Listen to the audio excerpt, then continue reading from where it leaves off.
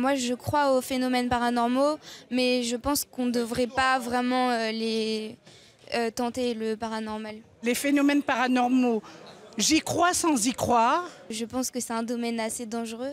J'ai du mal à m'imaginer ce que est le paranormal, ce qui est normal ou pas normal. Non, je, la frontière, je la connais pas. J'ai déjà ressenti des choses, ouais. ça m'est déjà arrivé.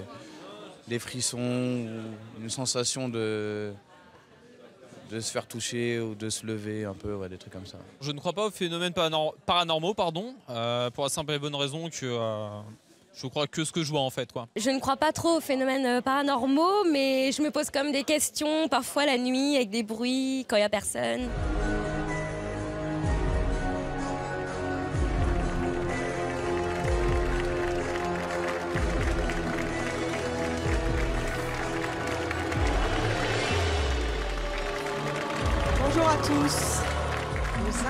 D'aujourd'hui vivent des expériences très étranges et inexpliquées. Chasseurs de fantômes, médiums ou habitants de maisons hantées, ils sont tous témoins de phénomènes paranormaux. Que vous y croyez ou non, vous allez le voir. Leurs histoires sont surprenantes et risquent de vous laisser perplexe. Je vous demande d'accueillir nos deux premiers invités. Il s'agit de Sébastien et Isil. Euh,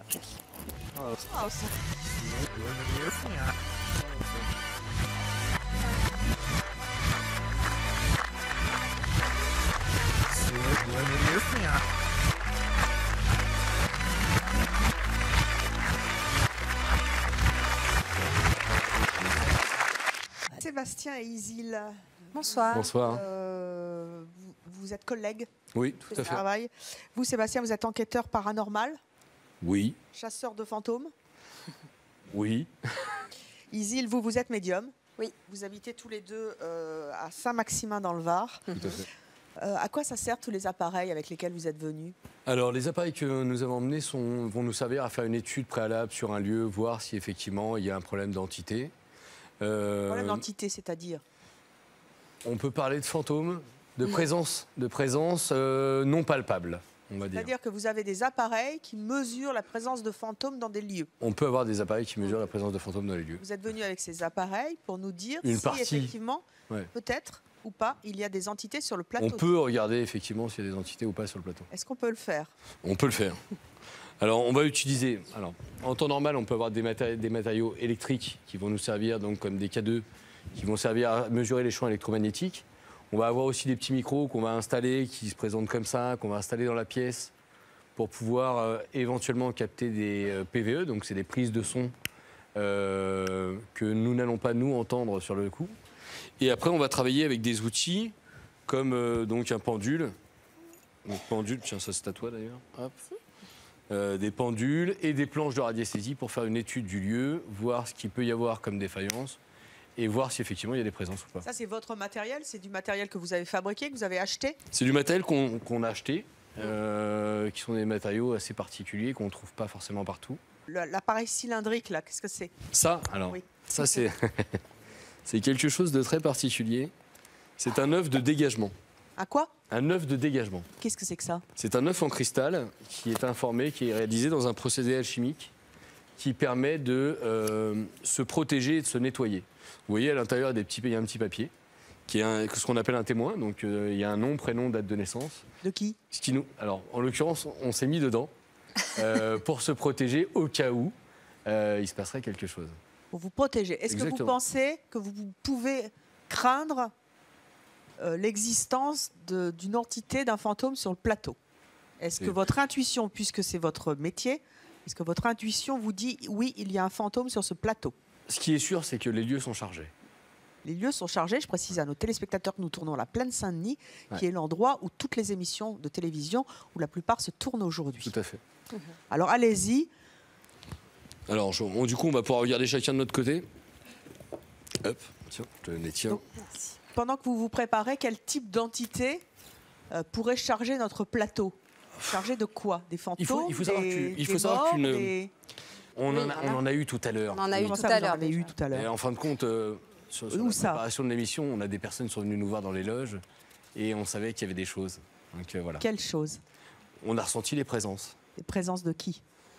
Ça, c'est, euh, on n'a Ça, pas. ça reste à voilà, définir. Ça reste à définir. Il fallait qu'on creuse plus loin Et on ne voulait pas euh, trop rentrer dans le truc avant.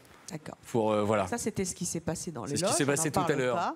Exactement. Là, on est sur le plateau de ces manchois. Il Exactement. y a suspicion d'entité sur le Suspicion. plateau de ces manchois. Suspicion. Vous êtes venu avec des instruments pour le mesurer. Tout à fait. Allez-y. Montrez-nous. Alors, hop. Je prends mon tour. Donc là, qu'est-ce que vous faites? C'est quoi votre bouquin? Alors là, c'est euh, ça, c'est un, c'est ce qui est, c'est ce qui- c'est- ce sont, ce sont des abacs. Donc c'est des diagrammes euh, de radiesthésie qui servent à mesurer. Donc s'il y a effectivement donc le taux vibratoire d'un lieu, mais aussi ce qu'il peut y avoir comme type de nuisance, que ce soit des nuisances électromagnétiques, que ce soit une présence d'entité, que ce soit un problème de magie, que ce soit voilà. Alors, Allez-y, parce que là, j'ai Ouais. un peu de mal à. Ça prend du temps. Non, faut juste qu'on se connecte. Alors connectez-vous. Je regardez. Je suis connecté à. Je suis apte à penduler. Hop. En attendant de savoir s'il y a des entités sur le plateau, est-ce qu'il y a une réaction dans le public? Est-ce que vous y croyez? Vous, mademoiselle? Je sais pas encore. Vous pensez qu'il y a des fantômes? Non. Et vous? Peut-être. Vous y croyez? Ben, en fait, euh, disons que dans ma culture, euh, ben, parfois on y croit, oui. Ah Qui n'y croit pas? Ah C'est bien. Des, des cartésiens. Des... T'as quoi, t'es Oh, je perds- j'en perds mes chaussures. Bonjour. Deux. Et vous Vous n'y croyez pas Ouais, j'y crois pas. Vous ne pensez pas qu'il y a une entité sur ce plateau Non. Il y a plein d'entités en même temps. Vous savez ce que c'est qu'une entité? C'est des individus, nous sommes des individus, nous sommes beaucoup. Ouais, mais il n'y a pas de fantôme. Eh bien, nous allons voir. Qui d'autre pense que c'est du mensonge? Vous pensez que c'est... Voilà. Oui, moi je trouve que c'est. J'y crois pas. moi. Vous croyez pas? Non. Vous n'avez jamais vécu dans, dans une euh, maison hantée. Et l'œuf en cristal, vous en pensez quoi? Je trouve ça un peu débile. De mettre des noms. Alors, effectivement, de nos- on trouve une présence, on trouve une présence d'entité. On vient d'en parler ensemble et on, on est d'accord sur ce qu'on trouve en plus. Euh, je trouve trois présences d'entités et trois femmes. Qui sont ces femmes? Alors ça, c'est toi qui vas pouvoir dire. Ça. Il y en a une, je pense savoir déjà. Elle vous parle? Qu'est-ce qu'elle vous dit? J'essaye d'avoir des prénoms déjà. Déjà mieux pour pouvoir parler. Mais en même temps, pendant que vous cherchez cette personne, Oui. vous pouvez me dire ce que vous voulez, parce que vous pouvez me dire elle s'appelle Julie, on ne pourra pas vérifier. Ah bah, Ça, c'est certain. Bien sûr. Moi, ce que j'entends. vous croire sur parole. Ce que j'entends, moi, on- n'est pas forcément obligé. À moins qu'on nous délai- à moins qu'on a- on nous délivre un message pour vous et que vous soyez vous à même de comprendre ce message. Ah, ça, mon Dieu, Voilà. je comprends beaucoup de choses, mais ça, je ne sais pas. Et ces entités-là, puisque euh, vous venez de me dire que visiblement, il y a une femme qui essaie de vous parler, elle est où? Physiquement, concrètement sur le plateau? Physiquement, elle n'est pas là, réellement. Parce que sinon, vous on l'apercevrait tous, physiquement. Elle est sur un autre plan que le nôtre. Donc on peut percevoir une signature énergétique, donc le déplacement de cette personne. On peut ressentir, pour certains, des frissons au niveau de la nuque quand cette entité va passer. Moi, Ça- je sens la clim. Ça veut dire- alors, Ça, c'est sûr. vous êtes pas... Alors, faudrait changer d'axe. on teste autrement. Mais ça peut être une manifestation. Ou d'un coup, une personne va se mettre à avoir les, les poils des bras qui vont se hérisser, et sans avoir réellement une chair de poule, sans avoir réellement d'explication à ça. Les vibrations, ça donne quoi au niveau du prénom, euh, Isil? Pour le moment, j'ai pas de prénom. Elle, me tait dit juste qu'elle veut jouer. Elle veut jouer Oui. Ouais. Ah, on est farceur, ah, c'est mon choix. C'est ça. Alors très concrètement, racontez-moi des anecdotes Oh. qui, euh, qui, euh, qui, qui- qui prouvent l'authenticité de ce que, ou en tout cas qui vous donnent des indices de présence de fantômes. Qu'est-ce qui vous est arrivé J'ai des euh, maisons, par exemple. J'ai un couple dans une maison qui, m'a- qui nous avait contacté euh, pour une intervention chez eux. Il se passait, ils avaient un problème avec leur enfant qui se réveillait souvent la nuit, qui disait qu'elle voyait des choses. Euh, elle hurlait, elle voulait plus dormir dans sa chambre à partir d'une certaine heure. Systématiquement, ça revenait sur les mêmes créneaux. Euh, on avait prévu d'intervenir chez eux un vendredi. Ils m'ont appelé le jeudi en fin d'après-midi en me disant ça va pas du tout, il faut que vous veniez maintenant. Euh, on est rentré à la maison et on a retrouvé la cuisine sans dessus dessous. Et donc du coup, c'est d'ailleurs ça fait partie de la première enquête qu'on a réalisée. On a été installer des caméras chez eux qui ont tourné toute la nuit. Donc on les voit précisément. Donc on- on a posé les caméras. On est revenu le lendemain matin nettoyer. Alors, On a regardé voilà les caméras un ce mois que après. vous avez vu, Voilà, car nous avons la vidéo. la vidéo. Voici ce que vous avez constaté Tout à fait. et vous allez nous expliquer ce que vous avez constaté. Tout à fait. Regardons.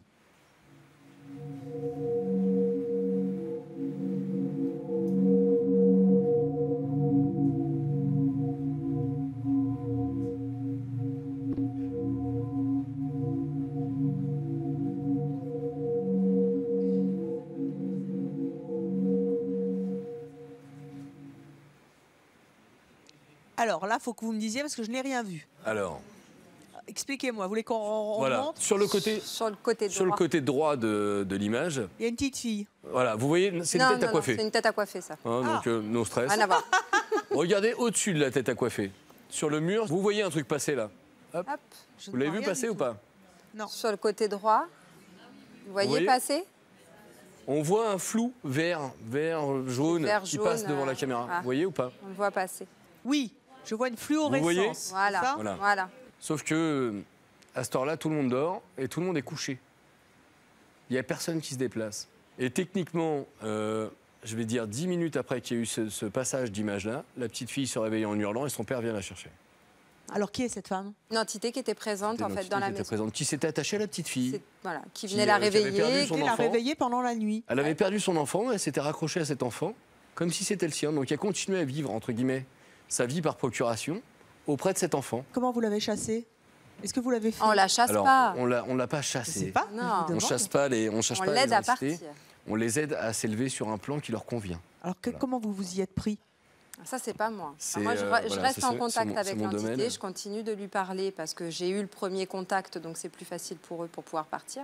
Et Sébastien les fait partir. Ça a marché? Bah, visiblement, la petite fille redort dans Elle son remange lit toute la nuit. correctement. Euh, elle remange correctement. Elle et, mangeait euh, plus aussi. Et ça a permis au couple, qui était en souffrance aussi par rapport à tout ça, de se rabibocher. séparation. vous, vous comprenez qu'on puisse avoir du mal à vous croire Eh c'est, sûr. mais c'est tout à fait normal. Vous êtes jeune en plus, hein, vous avez euh, Isil, vous avez 34 ans, Oui. c'est ça? Sébastien 37 Tout à fait. Les gens vous, vous prennent pour des, des cinglés euh, quand vous dites que ce que vous faites dans la vie? Ça peut. Mais vous en faites profession, Oui, Oui. c'est nos métiers. ouais. vous êtes payé pour ça. Alors, quand on Ça intervient dépend dans le cadre d'IPV, euh, non. IP quoi? IPV, IPV. c'est investigation paranormale. Var. C'est ce qu'on fait au niveau des vidéos. Et sinon, en général, euh, une, une- une visite euh, avec euh, chassage de fantômes. pour un nettoyage d'une maison. Ah, vous appelez ça un nettoyage? Ouais, c'est un nettoyage. Oui. C'est un nettoyage On énergétique. nettoie les lieux. Oui. C'est un nettoyage énergétique. Donc on va faire et un passage d'âme où on va aider les entités à partir, mais derrière on va nettoyer aussi l'imprégnation qu'il peut y avoir des murs de cette Nettoyer habitation. quoi? C'est pareil, c'est des rituels, il y a des encens, euh, et c'est euh, c'est toute une utilisation avec le en radiesthésie. Et alors, ça coûte combien? Par exemple, moi, j'imagine euh, que mon appartement, il est plein d'entités, j'en peux plus, euh, les, les, les portes s'ouvrent, j'entends des bruits de pas. Ah, mais Je vous alors, appelle, euh, allô? On va, on va Ça- procéder d'abord à une étude préalable. On Non, va essayer mais de t'es- savoir. attendez, vous ne répondez pas à ma question. Combien ça coûte? Parce que c'est important, hein, si les gens nous écoutent et qu'ils ont effectivement affaire à du paranormal, il faut savoir combien ça coûte. Oui. Après, une fourchette. Une fourchette. au- Aujourd'hui, le. Alors, la fois où on est intervenu où ça a coûté le plus cher, c'est parce qu'il y avait aussi les frais de déplacement et tout ça. Je crois qu'il y en a eu pour 500 euros, je crois. Combien? 500 euros. 500 euros. Avec les frais de déplacement, tout compris. hein. Euh, Mais en général, on Service est, euh, après-vente aussi.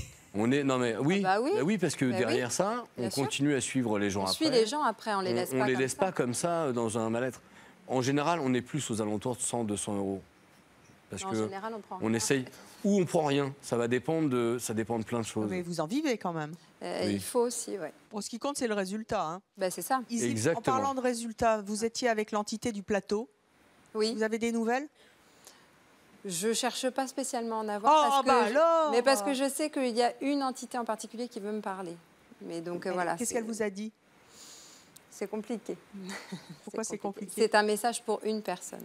Une personne de, du public? Mais- Non. Non. Moi? Non. Oh, peut-être. Non, producteur On va avoir non, quelque chose pas- pour elle. Mais... Oui, Une non, personne mais qui est ici pré- Oui. présente Ouais, qui est physiquement présente, oui. C'est qui? On a, Faut pas on- ouais, je vois, pff, oui, de toute façon, euh, on a dans, dans les personnes qui sont là ce soir, Une personne qui est les intervenants, on, on a une personne qui, pour qui elle a un message. Un de nos autres invités Exactement. qui est là. Ouais. Que vous connaissez ou pas? Pas du Non. tout. Pas du tout. Que vous n'avez On s'est pas- croisés dans les couloirs. Vous êtes croisés dans les coulisses. Donc on va le recevoir euh, dans quelques instants. Tout à fait. Euh, c'est une femme, c'est un homme? Une femme. Une femme Hmm. Suspense. Nous la recevrons dans quelques instants, mais en attendant, notre prochain invité est journaliste. C'est un grand spécialiste du paranormal. Je vous demande de- d'accueillir Stéphane Alix.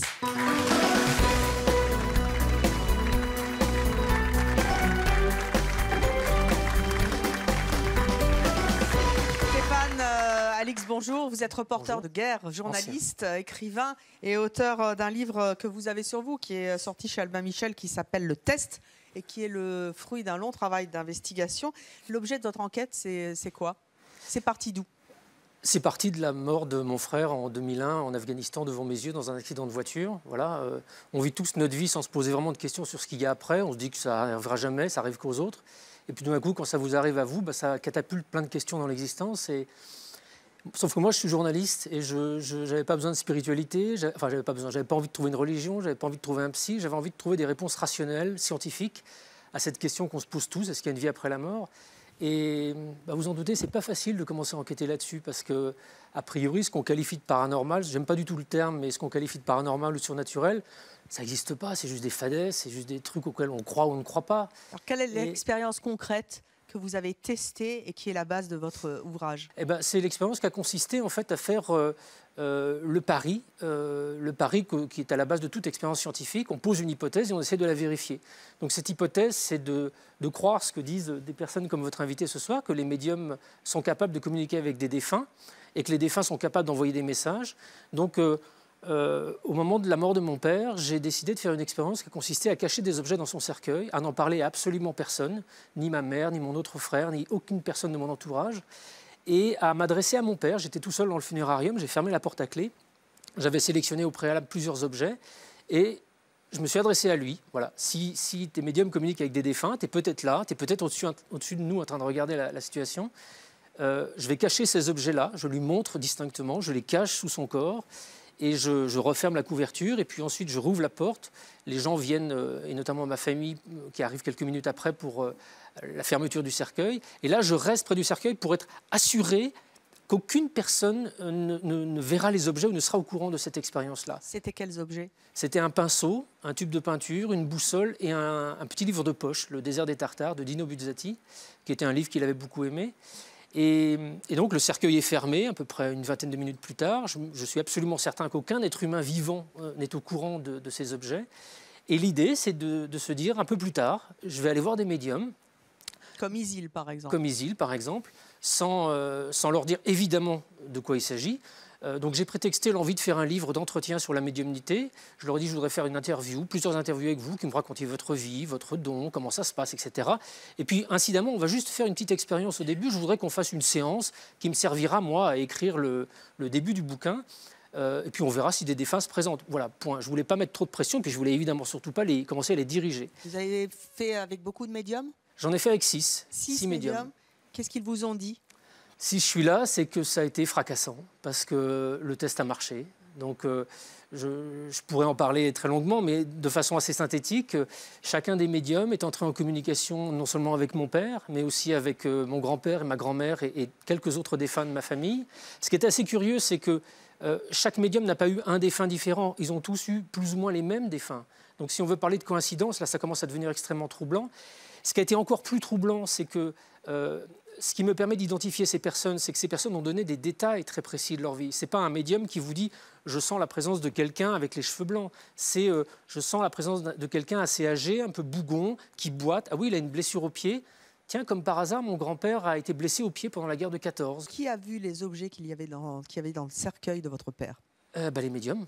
Les médiums m'ont décrit un ou plusieurs objets de, de- de chacun de, de ce, que- de ce que j'avais mis dans le cercueil. Alors très précisément, vous avez cité un livre que vous avez mis dans le cercueil de votre père. C'est un livre qui n'est pas facile à trouver. Est-ce que quelqu'un a trouvé le titre de ce livre? Oui, pas le titre, mais, mais m'a décrit le livre et m'a décrit le, le, le- le- comment dirais-je, le, a trouvé le moyen de me décrire sans les mots euh, L'histoire du livre? l'histoire du livre et, et de, de quel livre il s'agissait. J'ai- entendu un bruit derrière le plateau. Je ne sais pas si c'est l'antique. Non, c'est un vrai être humain qui a dû se cogner. Ou sinon, euh, pour une fois, on a de vous la avez le chance. sens il de l'humour. Stéphane. Oui. Ils font pas de bruit, les vrais. C'est ça. C'est rare. C'est rare. Alors nous allons à présent accueillir euh, notre prochain invité. Lui, c'est un universitaire Euh, il ne croit pas du tout aux entités, au paranormal. Il va nous expliquer pourquoi. Je vous propose d'accueillir Jean-Michel.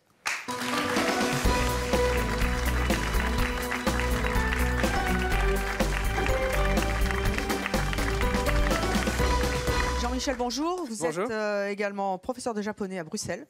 Oui. Euh, vous avez entendu, vous connaissez nos invités? Bah, je, oui, je, en tout cas, je connaissais euh, Stéphane Alix, évidemment, pour ses nombreux livres sur le sujet. Vous y croyez? Non, non, je n'y crois pas, non.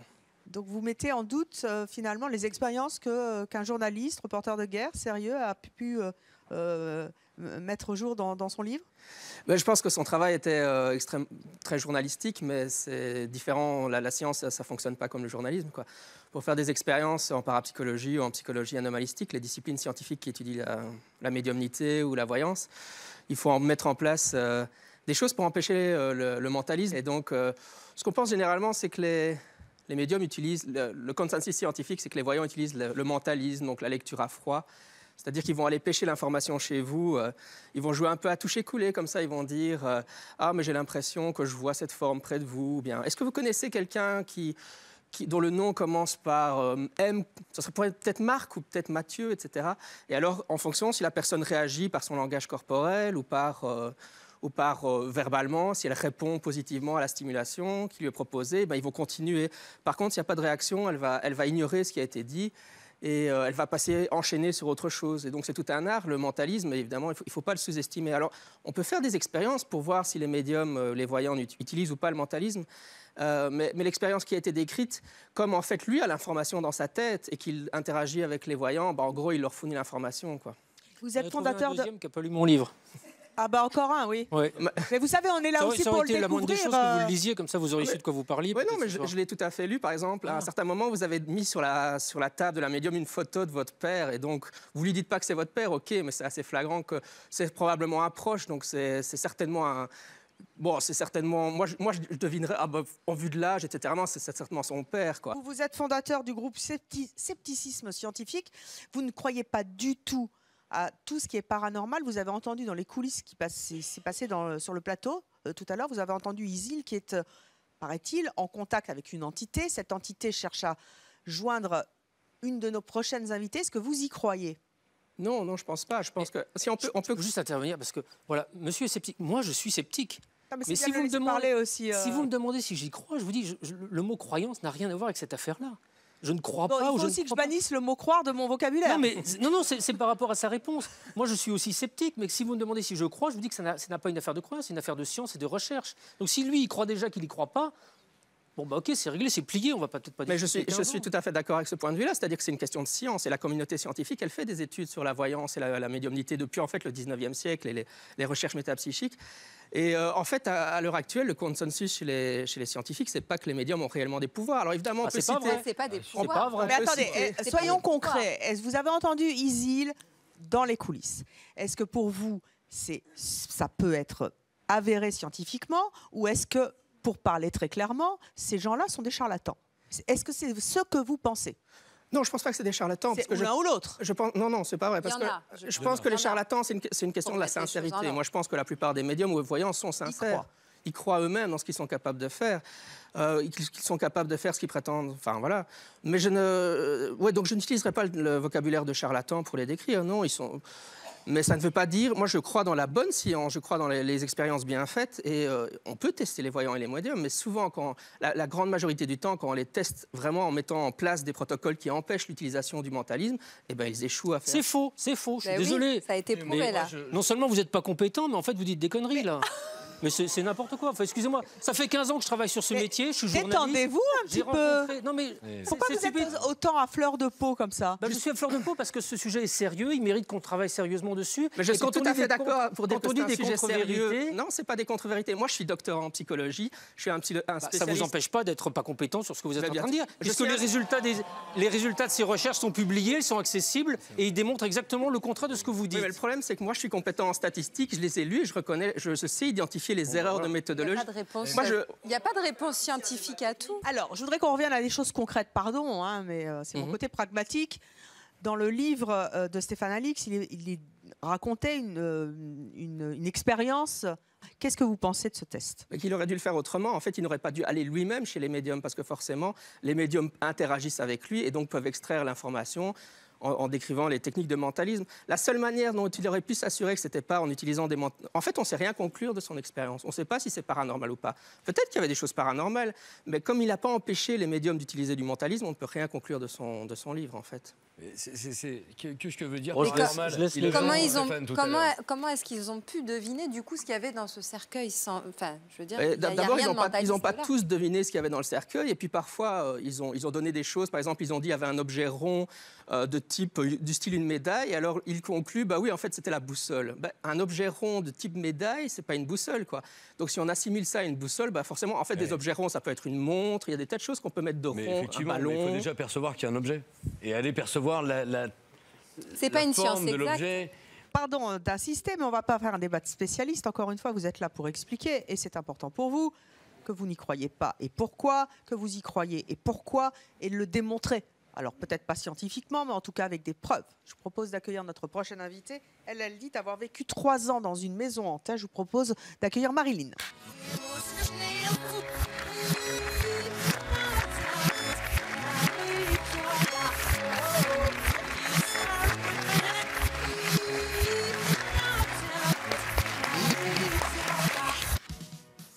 C'est bien, aujourd'hui on a une entité musique qui marche à fond.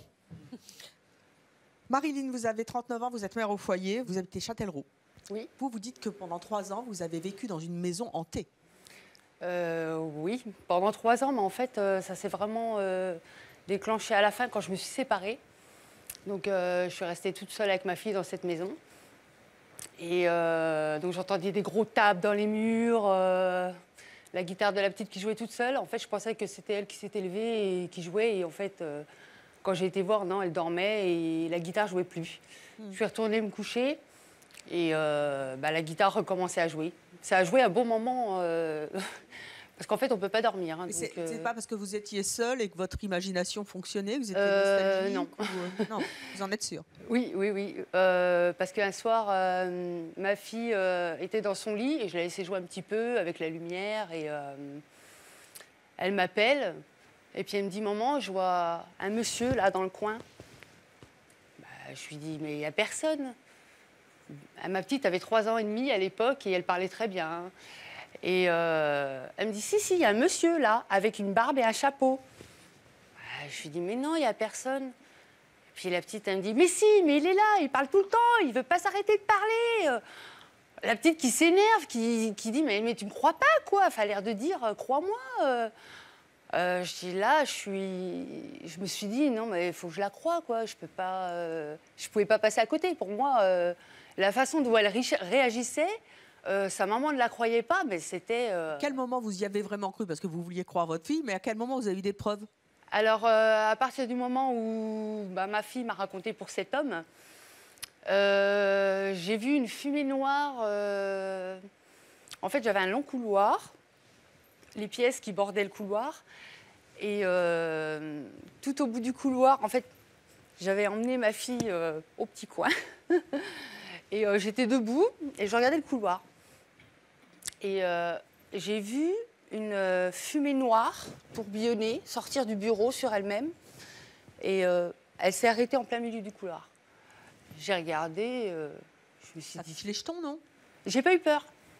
Non, parce que vous en parlez comme si. Non, j'ai pas eu peur. Là-dessus, j'ai pas eu peur. J'ai regardé, j'ai dit c'est quoi ce truc?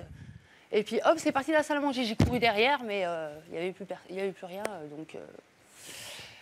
Et euh, donc la dernière semaine que j'ai fait dans cette maison, euh, là où j'ai le plus peur, c'est que ma fille avait très peur aussi. Elle voulait plus dormir dans sa chambre, donc elle dormait à côté de moi. Et euh, la petite était sur la gauche. Et sur la droite d'un couloir, j'entends maman. On n'était que deux dans la maison, la petite dormait. C'était pas une hallucination. Là, ouais, ouais, j'ai eu super peur. Qu'est-ce que vous avez fait? Eh ben, ma fille s'est réveillée une heure plus tard en me disant Maman, j'ai soif. Euh, non, non, t'as pas soif. Si, si, maman, j'ai soif. Non, non, t'as pas soif, tu boiras demain. Je voulais pas me lever, je voulais pas. euh, sur- je voulais surtout pas euh, aller me promener dans les pièces, sachant qu'il y avait quelque chose et. euh, paraît que vous avez fini par vendre la maison. C'est pas. En fait, c'est que on s'est séparés. On était séparés, on a vendu la maison et maintenant je suis dans une autre petite maison. Ça va, ça se passe bien? Euh, non, ça a, continué. J'ai eu euh, en été, je regardais la télé et puis euh, j'étais bras nus, le bras posé comme ça. Et j'ai senti quelque chose qui m'a caressé comme ça le bras. Et bah, par réflexe, j'ai regardé mon bras. Et là, j'ai vu quelque chose de transparent me caresser le bras une deuxième fois. Ça, je l'explique pas. hein. J'étais toute seule. je me suis levée. J'ai été à la télé. J'ai dit bon allez, je vais aller me coucher parce que les, les frayeurs, j'en ai déjà eu beaucoup. Je me suis dit non non, allez, je vais me coucher. Ça évitera que j'y pense. Et puis euh, donc euh, toutes ces choses ont fait que euh, j'ai, je suis arrivée dans une association. Je suis devenue enquêtrice paranormale. À votre tour À mon tour. Comment vous vous êtes débarrassé de cette chose qui, euh, qui vous pollue la vie finalement et que vous n'expliquez pas Alors, euh, vu que je suis arrivée dans une équipe, on a fait une enquête chez moi. Et euh, donc, on a eu des résultats. Et euh, j'ai- après, j'ai. Oui, oui, oui, j'ai eu euh, des, des réponses. Vous avez des preuves Vous les avez données à la production Oui. Nous les avons enregistrées et nous les avons. Je vais les découvrir en même temps que vous et vous allez nous commenter après ce que nous avons entendu. On y va. D'accord. Je vais vous répéter une autre question. Est-ce que vous êtes... euh, pardon, est-ce que vous nous voyez? Oui. J'ai entendu un petit oui, mais est-ce que vous nous voyez? Confirmez-moi, s'il vous plaît. Oui. Explication. Alors, explication, ça, c'est une séance chez moi. C'est une application sur un téléphone, en fait, qui est payante. Euh, quand vous le mettez en route, vous avez que des mots en anglais. Là, ça parle pas anglais dans, le, dans ce qu'on a entendu. On Oui, entend parce que- quelqu'un qui dit je vois. C'est qui? Bah, on ne sait pas. Il y avait personne dans la pièce? Il euh, Il y avait moi et le monsieur qui parle. Alors, on va le réécouter. Je vais vous répéter une autre question. Est-ce que vous êtes... euh, pardon, est-ce que vous nous voyez? Oui. Un petit oui, mais est-ce que vous nous voyez? Confirmez-moi, s'il vous plaît. C'est le te vois en fait. Le oui et Je te- vous vois, non Non, te vois. Te vois. Oui, bah, j'ai- encore un peu de. hein Oui. Donc c'est le te vois. Le te vois, donc d'après vous, c'est une entité. Ah, c'est une entité, c'était pas nous qui parlions, non. Vous savez qui c'est? Ah non. Alors, Isil, tout à l'heure, euh, nous a dit qu'elle euh, était à la recherche d'une entité sur ce plateau, que cette entité, elle l'avait découverte, que cette entité lui avait parlé et que cette entité voulait s'adresser à une de nos invités sur le plateau. Isil, est-ce que euh, s'agit de Marilyn? Oui. Pouvez-vous nous dire ce que vous avez découvert? Qu'est-ce que vous avez à dire à Marilyn? Je lui dirai pas là, elle le sait, on en parlera après parce que c'est trop délicat, je pense, pour qu'on en parle. En fait, elle, quand elle est venue nous voir tout à l'heure dans la loge, euh, j'ai ressenti une grosse, euh, un gros mal-être, on va dire, et elle a commencé à nous parler un petit peu euh, de, de sa vie et que tu avais perdu ta sœur. Et je lui ai expliqué un petit peu les ressentis que j'avais à ce moment-là où, euh, où elle est partie. Vous êtes en train de nous faire comprendre que sa sœur est décédée est en train de lui parler. Elle de est- rentrer en contact. Voilà, Sa sœur, tout à l'heure, a fait ressentir une émotion à Isil. une émotion très forte, enfin, euh, que j'ai encore d'ailleurs. Que seule Et j'ai euh, confirmé. Marilyn pouvait Enfin, Comment connaître. ça vous confirmez? Votre sœur vous parle? Je lui ai... Non, non, Non, non. sur des faits je de lui sa Je lui ai disparition. fait comprendre pourquoi elle ressentait ça, en fait, par rapport au décès de ma sœur. J'avais du mal à respirer, j'avais de voilà. Alors nous allons accueillir euh, à présent nos prochaines invités. C'est une maman et sa fille. Je vous propose euh, d'accueillir euh, Judith et Adeline.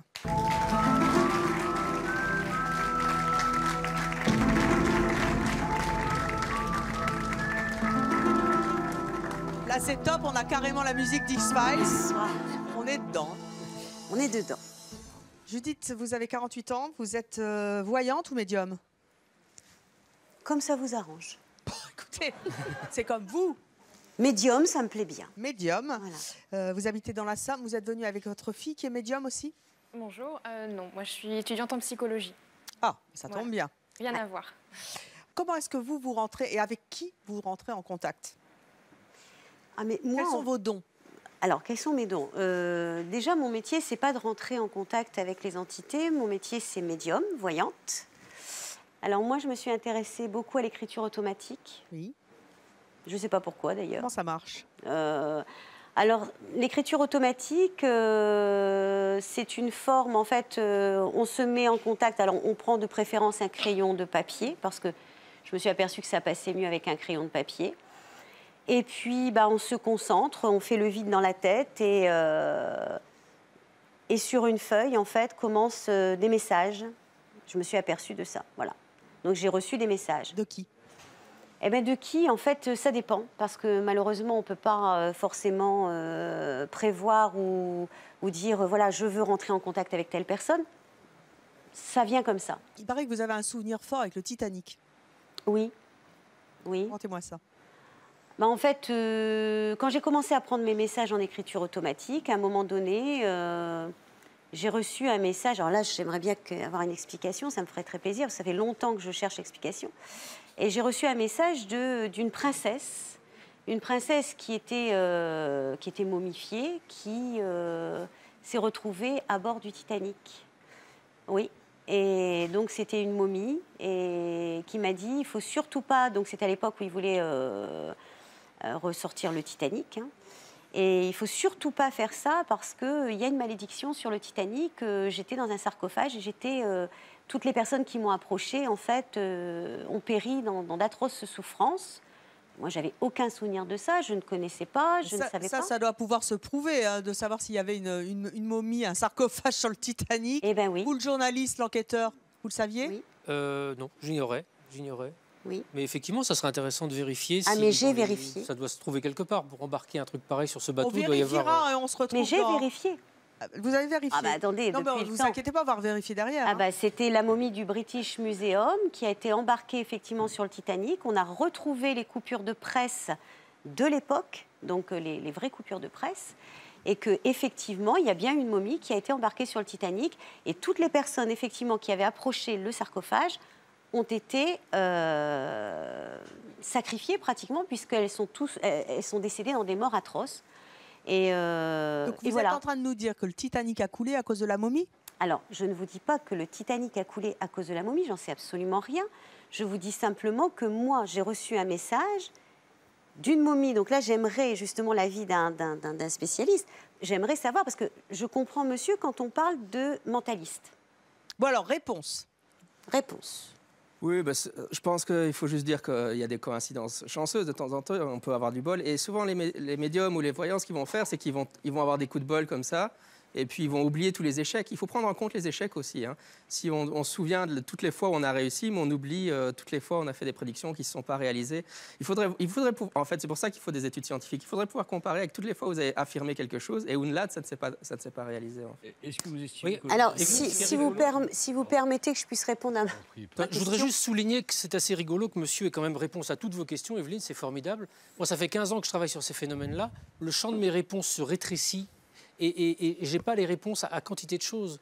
Donc, euh, votre posture qui consiste à avoir une réponse systématique à tout au prétexte que c'est cartésien et que ça plaira à la majorité, c'est pas une posture scientifique, c'est une posture de croyant. Et c'est dommage parce que ces phénomènes, ils se produisent autour de nous d'une- d'une façon extrêmement euh, fréquente. Ils méritent une investigation et d'être pris en considération de façon sérieuse. C'est pour ça que je réagis peut-être de façon un peu sanguine, pardonnez-moi.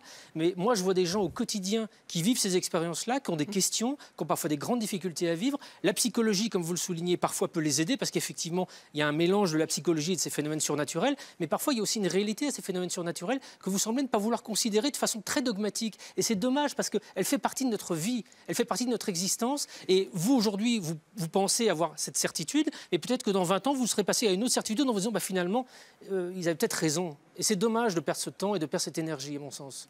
Mais c'est surtout que ça ne répond pas à ma question. Et ça n'y répond Parce pas. que, après, moi, je ne suis pas là pour euh, dire, voilà, je, ça existe ou ça n'existe pas.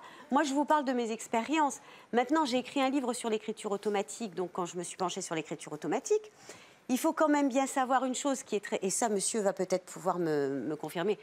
Mais j'aimerais bien qu'Adeline confirme un petit Oui, peu ce que vous dites, parce que c'est votre fille, elle vous, elle vous voit au quotidien. Adeline, euh, vous, vous avez 21 ans, vous êtes en plus étudiante en, en psychologie. C'est ça, Vous croyez oui. tout ce que dit votre maman? Bien sûr. Pourquoi? J'y crois parce que, ben, tout d'abord, enfin, au quotidien, j'en suis, euh, j'y suis obligée d'y croire. J'ai la preuve de certaines choses. Et c'est vrai que même si, par rapport certainement au statut que j'ai en tant qu'étudiante de psychologie, parfois, j'aimerais ne pas y croire parce que c'est quand même très paradoxal comme position. Vous avez concrètement? Des preuves, ça va être, euh, si vous voulez. Racontez-moi, qu'est-ce qui vous est arrivé? Comment vous la testez, votre maman? Alors, c'est un ensemble de petites choses au quotidien qui vont faire que vous, vous finissez par forcément y croire. Après, je, je suis la première à penser qu'il faut laisser aussi une part au doute. Je ne pense pas que c'est une vérité exacte. Bien sûr, il y a des choses qui, qui- qui n'arrivent pas. Mais vous avez assisté à des choses? À des choses, euh, oui, j'ai assisté euh, à plein de choses. Après. à quoi concrètement? Comment vous dire euh, Par exemple, vous savez, quand vous faites partie d'un public pour lequel, en fait, vous venez euh, assister à, euh, un, un- ensemble de choses où les, gens déposent des photos de- d'entités, de défunts. Et si vous voulez, les gens, en fait, les personnes qui sont interrogées, les médiums, en fait, n'ont aucune connaissance de ces défunts sur les photographies. Et là, en fait, toute la salle, euh, toute la salle euh, a été surpris de voir que les médiums ont été capables de, de donner les noms des personnes et de dire, mais oui, mais en fait, les- la cause du décès et euh, énormément de précision sur ces choses. Et là, vous vous dites, mais il y a forcément quelque chose qui se passe, quelque chose dont on n'a pas connaissance et qui... Vous êtes forcément surpris par ces, C'est l'élément statistique qui est troublant. Que si vous avez un seul, un seul élément, comme disait monsieur, c'est pas probant, ça peut être une coïncidence, on ne sait pas trop à quoi l'attribuer. Mais si effectivement un, un médium, de par ses capacités mystérieuses, un peu mal connues, est capable d'aligner des éléments précis et, et Voilà. qu'on a pu issoci- dissocier et, et éliminer les éléments conventionnels, comme soulignait monsieur, le, le mentalisme, etc., là on est devant une accumulation d'éléments statistiques qui sont tout à fait troublants. Comment est-ce qu'on peut trouver un nom par hasard, un prénom, une circonstance de décès, un caractère, des émotions, tout ça par coïncidence, ça commence à faire une chance sur des milliards et des milliards et des milliards. On, on est devant euh, quelque chose de paranormal. Adeline, moi je voudrais savoir, encore une fois, pardon de revenir dans le concret, mais c'est important. Vous avez une maman qui est médium. Mhm. Vous y croyez. Est-ce que vous pensez avoir hérité de ses dons? Je ne dirais pas que j'ai hérité de ses dons parce qu'il y a beaucoup de choses qu'elle fait et dont je suis fascinée et que je n'ai pas forcément la, la possibilité de faire. Moi, je n'ai pas la possibilité de, de voir des choses à travers les cartes, de- d'avoir des. J'ai quelques impressions, j'ai eu quelques impressions dans le passé, et euh, notamment par, euh, beaucoup par les rêves. Après, c'est quelque chose que j'ai absolument pas envie de, de me dire et de développer parce que c'est j'ai appris aussi avec le temps, avec toute mon enfance et euh, le fait, le fait d'avoir une mère médium, ça a été vraiment difficile parce qu'il y a Pourquoi ça a été il y difficile? a énormément de critiques qui viennent s'ajouter. C'est assez compliqué de faire face aux gens et de leur. On a, on- au départ, on essaye de leur prouver. Et en fait, rapidement, si vous voulez, quand vous êtes enfant, quand vous êtes jeune, vous, vous comprenez que ça, ça devient quelque chose qu'il faut cacher. Et en Malheureusement, même temps, vous êtes venu sur un plateau de télévision nous en parler. voilà. Alors, bon, bah, même si je vois qu'il y a encore des gens sceptiques, et de toute façon, il y en aura toujours, parce que je pense que c'est un métier qui euh, manque énormément de crédibilité, parce qu'aujourd'hui, n'importe qui va... C'est pour ça euh, que vous êtes venu non, parce que je suis absolument pas là non plus dans l'optique de prouver quelque chose, puisque moi-même j'aimerais laisser une part au doute. Et je pense que le problème, c'est, si vous voulez, qu'aujourd'hui, en fait, les gens cherchent des réponses, ils prétendent chercher des réponses, mais finalement, j'ai l'impression que les gens veulent simplement confirmer l'hypothèse selon laquelle le paranormal n'existe pas. Et en fait, c'est là-dessus que même moi, j'aimerais apporter des réponses plus tard, mais avec une validité scientifique, comme monsieur essaye justement de le faire. Donc voilà. Vous avez une spécialité, euh, Judith, c'est euh, quelque chose qui s'appelle le Ouija. C'est quoi le Ouija? Le Ouija, pour nous, c'est une euh, communication avec ailleurs. Alors, je me... Ah bah ça y est. La Ouija. Vous allez donc faire de la Ouija, c'est bien Mais je ne sais pas. Ah bah moi non plus. Non. En fait, si vous voulez, on, on- on fait de la, la communication avec ailleurs, mais on ne sait pas qui est ailleurs. On est bien d'accord. Ouais, là, je, je fais juste une petite parenthèse, excusez-moi, mais c'est important. Euh, c'est une technique qui marche, mais qui est, qui est franchement pas à conseiller à vos téléspectateurs. Parce Ah que non. vous Ouais, ouvrez on des. va leur- on va leur emballer alors. hein. Bah- mais je ne sais même pas ce que c'est. Je Bah, en fait, découvre. vous- vous ouvrez- imaginez que vous C'est mettiez- dangereux. Oui. On va pas faire quelque chose de dangereux sur le plateau de C'est mon choix. Eh ben, Allez-y. Vous, inquiétez pas, vous avez un sceptique sur le plateau, il n'y a rien de dangereux qui va se Bon, bah, passer. envoyez Je- tout chez le sceptique, mes alors. ondes négatives. On en reparle avec des gens qui ont joué avec. Restons, restons sceptiques, je veux bien. Par principe de précaution, je pense que ce type de contact et ce type d'expérience ne doit pas être fait. J'ai vu des gens ayant fait ça pour se marrer avec des copains en buvant une bière un week-end C'est et étant traumatisés dix ans après parce qu'il s'est passé quelque chose qui ne l'explique pas, qui est peut-être euh, explicable quel- quelque part, j'en sais rien, mais qui euh, est un débordement d'énergie, des meubles qui se fracassent, des choses comme ça, des gens que je connais, dont je connais la probité. Donc euh, c'est un peu, j'ai une image que m'a employé un des médiums dans, dans le, dans le test. Il me dit c'est un peu comme si vous, vous êtes une jolie fille, vous mettez une mini-jupe et vous allez vous promener dans, une- dans un endroit extrêmement mal famé à minuit avec un projecteur sous vous en disant coucou, je suis là. Là, en fait, vous ouvrez une porte sur un monde des défunts. Non, mais c'est Comment ça. C'est pas une mauvaise image. Non, mais vous, vous, vous mettez un projecteur sur vous dans un monde des défunts qui va être ceux qui désespèrent de communiquer avec nous, qui ne sont pas forcément des gens apaisés, qui sont peut-être des, des gens, vous parliez d'entités qui sont perdus. Je voudrais juste revenir un petit peu. Le Ouija, c'est quoi? C'est une séance de spiritisme pour communiquer avec les morts? C'est ça. C'est ça. coucou, je suis là, qui veut venir? Et c'est bien que vous l'ayez mis sur la table pour qu'on puisse expliquer ça clairement aux téléspectateurs. Vous dites, vous nous avez dit que vous ne vouliez pas faire de séance de spiritisme sur le plateau, c'est votre choix. Mais qu'en revanche, vous étiez d'ac- vous étiez d'accord pour le Ouija avec toutes les réserves que nos invités ont mises. en fait, vous voulez nous faire une démonstration? Attendez. Puisque on, on vous rappelle, bah, vous- euh, non, mais si vous voulez pas, vous Si, voulez si pas. vous voulez, on Non, peut pas essayer. si je veux, vous, le- vous, le- vous avez accepté, c'est de votre spécialité, une Non, de ça vos n'est pas- spécialités. si, si, oui, si vous voulez. Euh, bah, c'est compliqué. Ce que c'est qu'elle a conscience du danger que Oui. ça peut générer. Oui. Et c'est ça qu'il faut, c'est ça qu'il faut qu'on garde en, en ligne de conduite, c'est que Euh, ça peut être dangereux. Alors, allez-y. Pourquoi je veux en parler? Alors, ce qu'on m'a demandé à la base, c'est de faire une séance de spiritisme. Avec les verres, les papiers. Vous voyez Donc, on, on met des lettres. Ça, vous n'avez pas voulu. Je- alors, pourquoi j'ai pas voulu? Parce que justement, comme disait monsieur, euh, le problème, c'est que souvent, tous les adolescents font ça. Et oui, c'est dangereux. Pour moi, j'estime que c'est dangereux. La Ouija, oui, c'est aussi dangereux dans le sens que ça n'est pas un jeu. On ne sait pas ce qu'on va nous répondre. On ne sait pas si ça va fonctionner ou si ça va pas fonctionner, parce qu'on est quand même sur un plateau télé. Donc il y a- il y, a quand même, je veux dire, euh, voilà, des lumières, euh, du bruit. Normalement, on fait ça dans le calme. On est fait ça super avec silencieux là. non, mais on fait ça normalement, je veux dire, c'est intime, etc. Et euh, donc, le but, c'est ça, c'est c'est de tenter de rentrer en communication avec quelqu'un. Malheureusement, nous, on ne sait toujours pas. Moi, je reste en- encore cartésienne. Est-ce que c'est vraiment des esprits, donc des, des personnes qui sont décédées? Ou est-ce que c'est des, des personnes qui sont même vivantes? J'en sais rien. Ou est-ce que c'est des extraterrestres? J'en sais rien. Pourquoi pas? Ah bah oui, ça fait rire. Dès qu'on parle d'extraterrestres, ça fait rire. Dès qu'on parle d'entité, ça fait rire. Et dès qu'on parle de médium, de toute façon, on nous associe à des, Vous des, man- faire des la maladies mentales. euh, Allez-y. hein. Mais moi, je veux bien, mais il va me falloir quelqu'un pour faire la démonstration. Comme- dites- Dites-nous ce qu'il vous faut. Je suis à votre disposition. Bah, une personne, vous voulez essayer? Euh, bon, bon, moi, ça serait un peu. euh, moi, je veux bien essayer, mais enfin, bon, ça serait mieux que ça soit quelqu'un du public. Bah, C'est pareil, je peux pas prendre n'importe qui. Bon, très bien, alors j'y vais. N'ayez pas peur. Bon. On est bien d'accord que je fais pour vous faire voir comment ça fonctionne. Donc vous êtes prête à rentrer en contact avec n'importe qui? Je suis prête.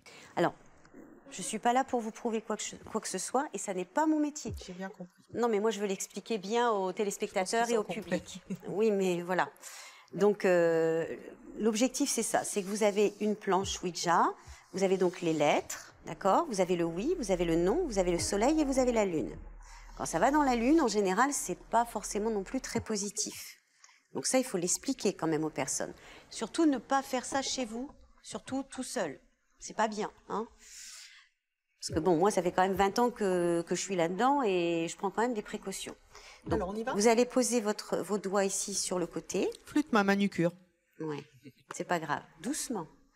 Attention, hein, sincèrement, c'est vraiment quelque chose de très sérieux. Est-ce que j'ai pas l'air sérieuse? Euh, oui. Non, mais il faut y aller délicatement. Voilà. Et là, le rond, si vous voulez, en fait, va se mettre sur les lettres, s'il veut bien. hein. Et c'est ça qui, qui, normalement, nous donne des Et messages. vous, vous gardez la main dessus? Ah ben oui, je suis obligée. D'accord. À moins que je vous laisse faire toute seule. Ah non, je sais pas. Vous pouvez essayer si vous voulez. Hein. Moi, je veux bien vous, vous laisser essayer Je toute sais seule. pas. Bon, on va déjà essayer à deux. Hein. Allons-y. Voilà. Donc là, l'objectif, c'est de demander s'il y a quelqu'un qui veut bien rentrer en contact, quelqu'un sur le plateau, parce que c'est très compliqué. Je dois fermer les yeux? Moi, c'est mieux.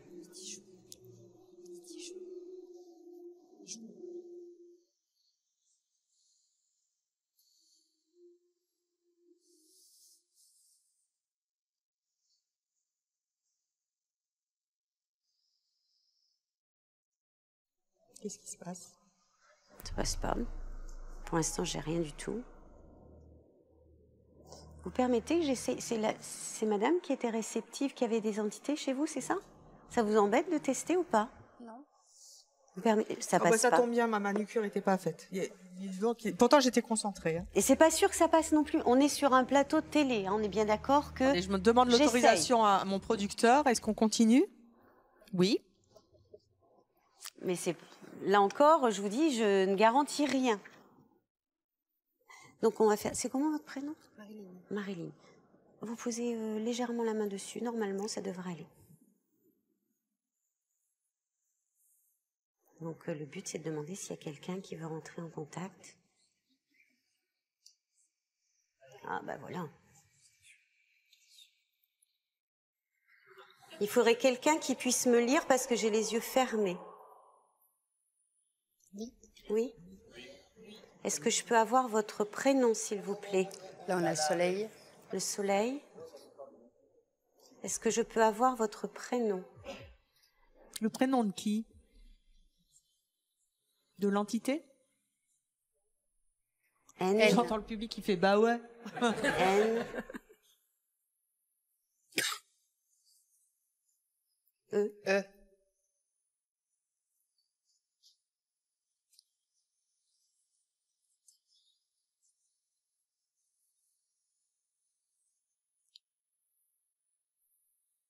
Je dis, c'est vous qui poussez le cœur avec le trou ou c'est Bien ça- sûr, Evelyne, je suis là que pour ça, pour pousser le cœur avec le trou.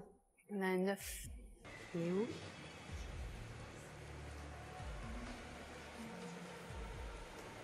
R. Donc vous avez vu comment ça fonctionne, parce que l'objectif c'est de vous faire voir comment ça fonctionne. Je ne vais pas me mettre pour faire une séance de Ouija, là, pendant une demi-heure, et avoir des messages.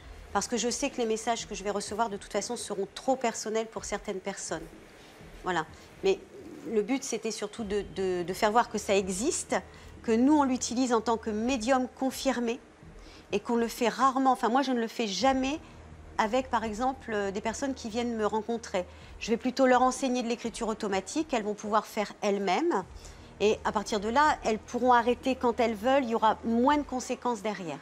Eh bien, merci euh, d'être venu sur le plateau. euh, vous parlez euh, de ce qui existe euh, ou pas. Vous vous ferez votre euh, libre opinion, d'y croire ou pas, de le vérifier peut-être dans les années à venir. Merci à vous. On achètera votre livre, bien sûr, euh, chez Albin Michel. Merci à notre public et à vous de nous avoir suivis sur Chérie 25. À très bientôt.